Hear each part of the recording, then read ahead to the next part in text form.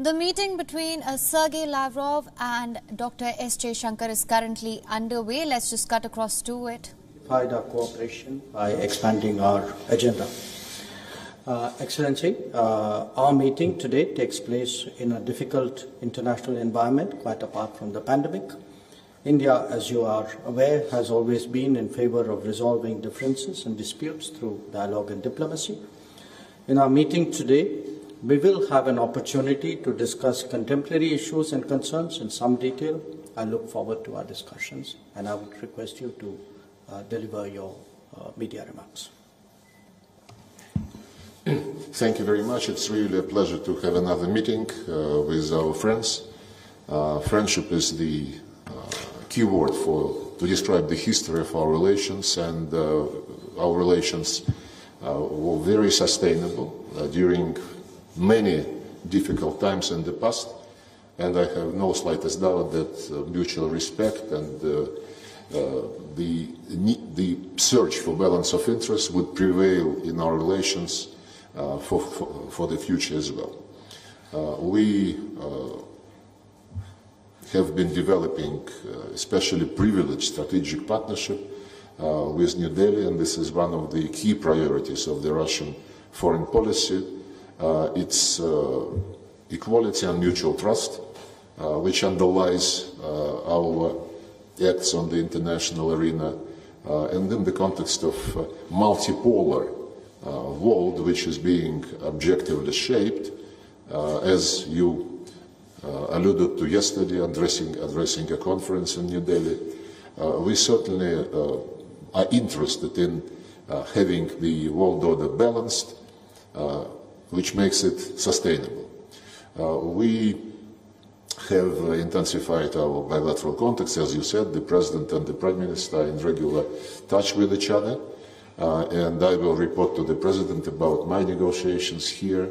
Uh, he sends, by the way, his best regards to Prime Minister Modi, and I will uh, appreciate an opportunity to deliver this message personally.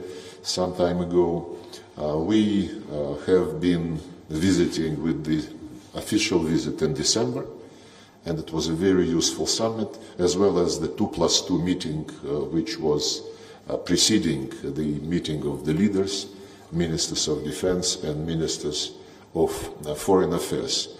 Now, as far as I understand, the respective members of our governments uh, discuss the dates for the next meeting of Intergovernmental Commission on Economic uh, Cooperation. We continue to implement projects in the areas of energy, science and technology, outer space, uh, pharmaceutical industry, uh, and of course we cooperate, uh, cooperated and continue to cooperate in the efforts to uh, fight coronavirus infection. Uh, indeed, as you, as you mentioned, uh, this day our Western colleagues would like to reduce any meaningful international issue to the crisis in Ukraine. Uh, you know our position. Uh, we do not hide anything, and we appreciate that India is taking this situation in the entirety of facts, not just in a, in a one-sided way. Uh, so I look forward to our discussions, and uh, thank you very much for your hospitality once again.